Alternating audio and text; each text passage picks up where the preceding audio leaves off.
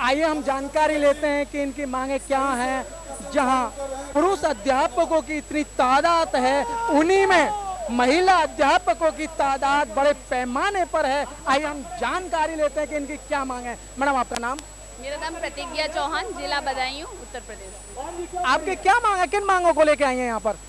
हम जो माननीय प्रधानमंत्री जी ने कहा है हम लोग सत्रह साल से स्कूलों में पढ़ा रहे थे। हम लोगों को उन्होंने आज चालीस हज़ार रुपये हमारी सैलरी से दस हज़ार ला के कर दिया हम प्रधान जी से मंत्री जी से पूछना चाहते हैं ऐसा क्यों? एक तरफ़ माननीय प्रधानमंत्री जी कहते हैं कि बेटी बचाओ बेटी पढ़ाओ।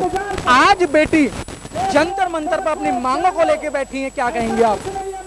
मैं इस प्रधानमंत्री ने जो ये है बेटी बचाओ, बेटी बढ़ाओ की मैं बहुत पुरजोर इसका विरोध करती हूँ, घोर निंदा करती हूँ। आज उनकी बेटियाँ सड़क पर उतर आई हैं। अपने अपने परिवारों को छोड़ के हम लोग तीन दिन से यहाँ पड़े हुए हैं। यहाँ पे कोई नेता, कोई देखने वाला, बात करने वाला, और बीजेपी की सरकार ने हम लोगों को लाके, सपा सरकार ने हमारे लिए रोज़गार दिया बीजेपी ने छीन लिया।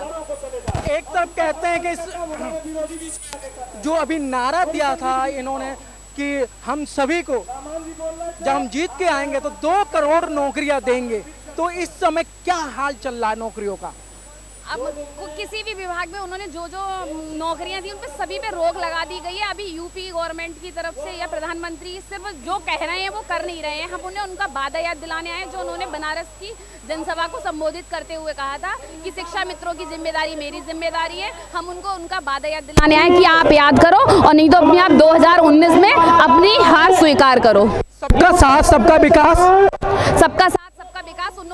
सात विकास हमें दिखा दिया, तीन महीने सबका सर्व सत्यानाश कर दिया। और आज ये नहीं, शिक्षा विभाग ही एक इनसे त्रस्त हो, दुखी हो, ऐसा कोई भी विभाग नहीं है जो आज की डेट में कुछ चाहे वो पुलिस विभाग हो, चाहे वो हेल्थ डिपार्टमेंट हो, चाहे वो एजुकेशन डिपार्टमेंट हर डिपार्टमेंट इस गवर्नमेंट से दुखी है।